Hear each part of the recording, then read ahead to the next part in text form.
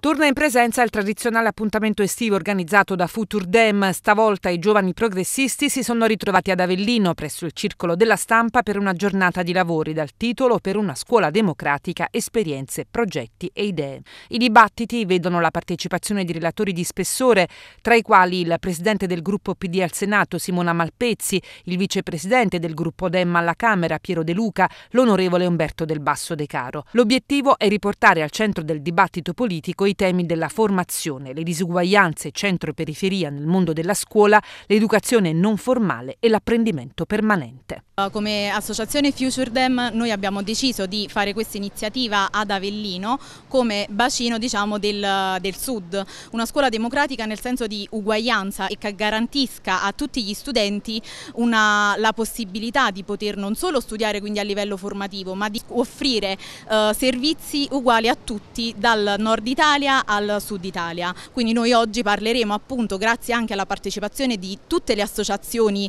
eh, territoriali che si occupano della materia, eh, di eh, parlare di progetti Erasmus che garantiscono ai ragazzi anche una formazione interculturale. La formazione ovviamente è la, la base per eh, la, quella che si dice sempre nuova classe dirigente, ovviamente parte dal territorio, deve essere una formazione sul campo e che deve garantire